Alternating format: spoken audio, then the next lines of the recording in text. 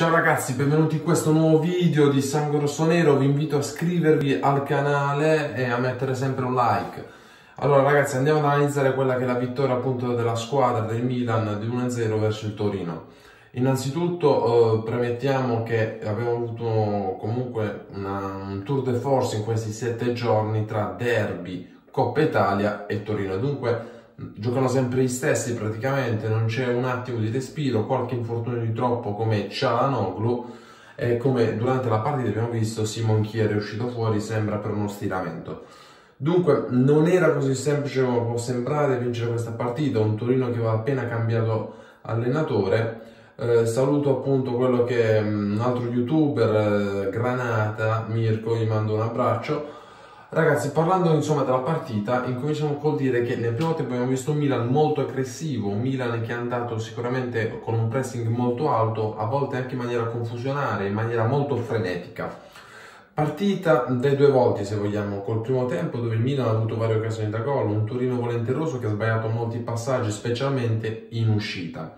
Per quanto riguarda il secondo tempo abbiamo visto invece una partita in cui il Torino nei primi 20 minuti ha attuato un pressing molto più alto, mettendoci anche in difficoltà, ma essenzialmente non creando grandi pericoli alla porta di Donnarumma.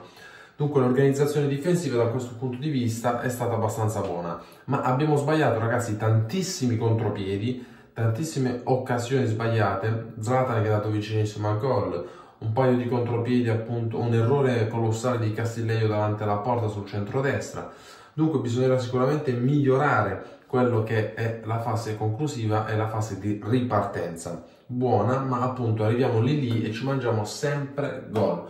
Oggi non è stata chiusa la partita, è bene come è andata che siamo riusciti comunque a strappare la vittoria.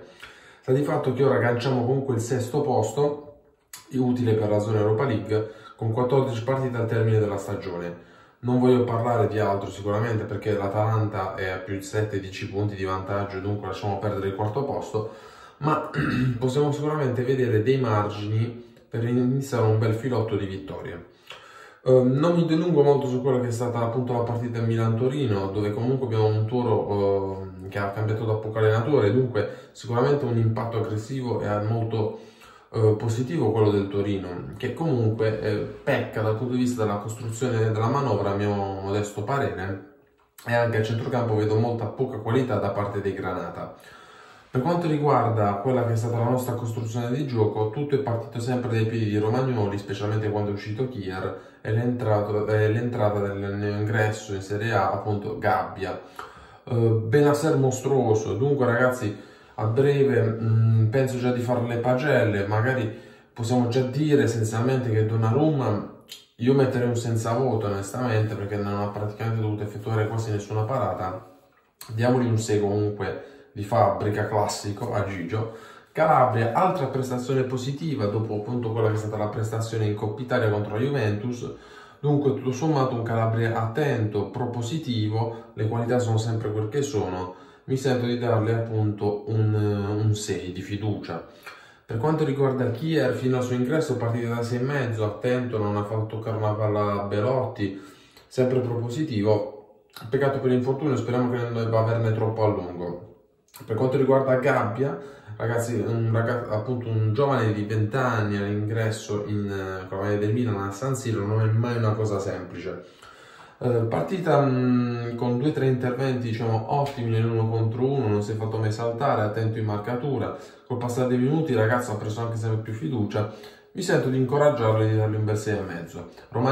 Romagnoli partita da 7,5 senza ombra di dubbio, finalmente Abbiamo visto il capitano in ripresa nelle ultime due partite post derby con Juve e col Toro.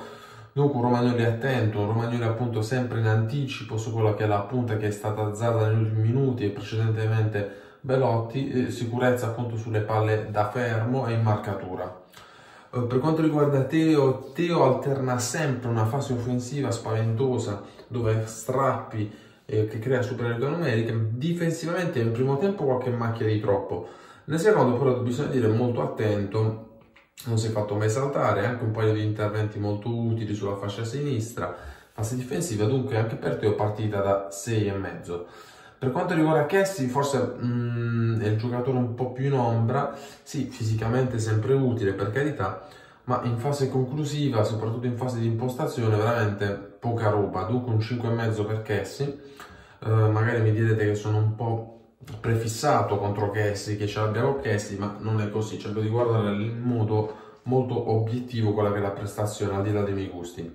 Benasser, ragazzi io Benasser mi sento di dargli 8, perché non si è fermato un cazzo di momento. Inesauribile, recupera palloni in quantità industriale, magari troppo aggressivo spesso nell'intervento e nel palloni, ma ottimo anche nella fase di impostazione, nel vert verticalizzare, non ha paura soprattutto quando riceve palla a ridosso della nostra difesa, si gira sempre con rapidità, salta l'uomo, veramente un giocatore che sta diventando essenziale importantissimo. In un'altra squadra sarebbe John Top, o se non un top, sarebbe comunque un giocatore bello da valutazione dai 50-60 milioni di euro senza ombra di dubbio.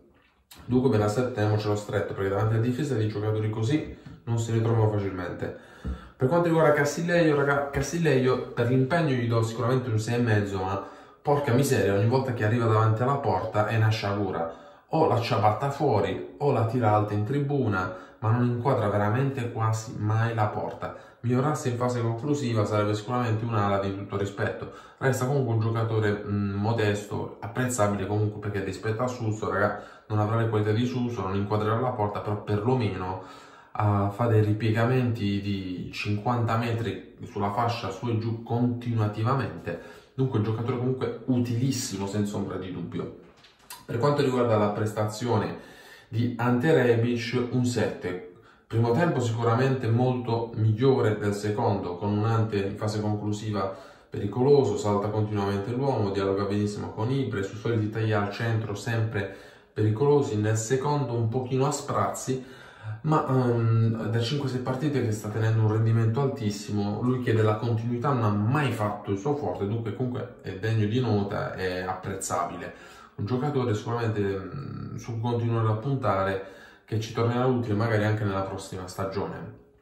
Paquetà, questa è la mia più grande delusione, Paquetà voto 5, molto impreciso in fase d'appoggio, molto impreciso in fase di 1-2, molto impreciso nell'ultimo passaggio, spesso perde anche il tempo dell'assist verso il compagno, sicuramente da recuperare, perché con l'infortunio di Cialanoglu non sappiamo quanto ce ne starà fuori, ma bisogna cercare sicuramente di recuperare mh, Paquetà anche se l'ingresso di oggi per le qualità che ha il ragazzo, uh, l'ingresso, la prestazione di oggi mi fa veramente incazzare.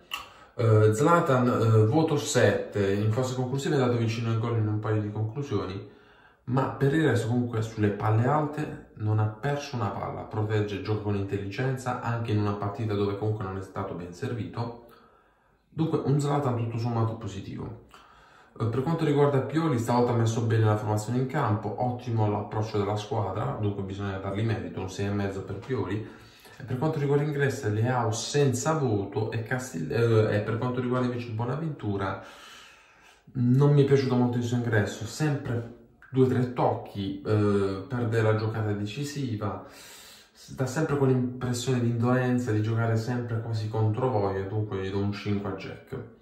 Dunque ragazzi, ora prossima, mm, prossimi appuntamenti saranno comunque fondamentali per la nostra classifica per cercare comunque di salire almeno di avvicinarci al quinto posto.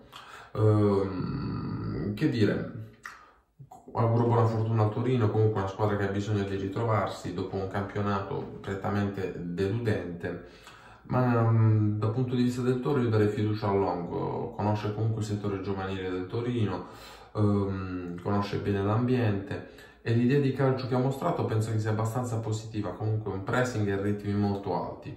Sicuramente avrà bisogno di tempo, ma magari con essendo un allenatore giovane ci potrebbe il Toro, fosse nel Toro, ci punterei per il futuro su questo nuovo allenatore. Vi mando un abbraccio ragazzi e sempre solo Forza Milan, ciao!